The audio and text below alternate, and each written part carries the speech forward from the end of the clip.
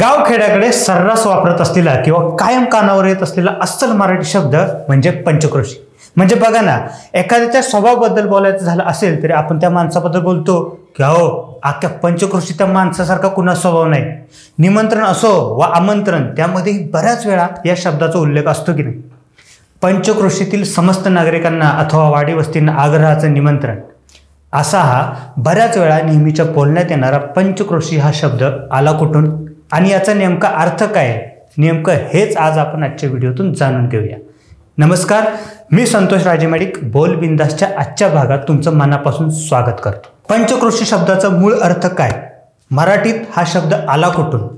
तसं बघायला गेलं तर म्हणजे विशेषतः खेडेगावात पंचक्रोशी शब्दाचा सर्रास वापर केला जातो. साधारणतः आपल्या गावाच्या आसपास असणाऱ्या परिसराला पंचक्रोशी असं म्हटलं जातं. म्हणजे उदाहरण द्यायचं झालं तर आमच्या गावात याच्यासारखा माणूस अख्ख्या पंचक्रोशीत शोधून सापडणार नाही. अथवा पंचक्रोशीत सगळ्यांनी त्याचं कौतुक केलं. पंचक्रोशीत ती बातमी चांगलीच पसरली. अशी पंचक्रोशी शब्दाचा वापर केलेली वाक्य लक्षात घेतली तर आपल्यापैकी अनेकांना असं वाटत असेल की पंचक्रोशी म्हणजे पाच गावांचा एक समूह. तुम्हीच काय? बहुतेकांचा असाच समज असावा. पण पंचक्रोशी हा शब्द मराठी भाषेत आला कुठून?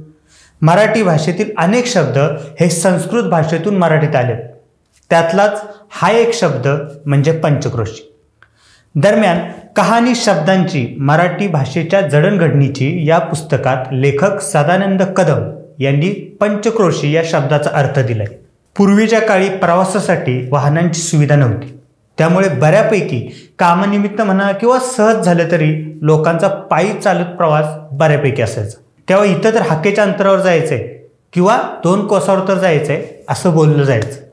आता यात दोन कोसावर तर जायचं आहे यात आलेला कोस हा शब्द मागाशी बोललो त्याप्रमाणे मराठीतील बरेच शब्द हे संस्कृतमधून आले. तसाच हा कोस शब्द देखील संस्कृतमधून आलाय. संस्कृतमध्ये हा शब्द आहे क्रोश. क्रोश म्हणजे ओरडणे. म्हणजे मोठ्याने ओरडलं तरी ऐकू जाईल एवढं अंतर म्हणजे कोस. आणि संस्कृतमधील पंच म्हणजे पाच. अशा पाच कोसांचा परिसर म्हणजे पंचक्रोश. त्या परिसराचे क्षेत्र म्हणजे पंचक्रोशी. अशा प्रकारे पंचक्रोशी हा शब्द तयार झाला. जो आजही अनेक गावखेड्यांमध्ये सर्रास वापरला जातो आणि यापुढेही वापरला जाईल. तुम्हाला आमचा हा व्हिडिओ कसा वाटला हे आम्हाला नक्की सांगा आणि अशाच माहितीपूर्ण व्हिडिओसाठी आमच्या बोलबिंदास या चॅनेलला सबस्क्राईब करा. धन्यवाद.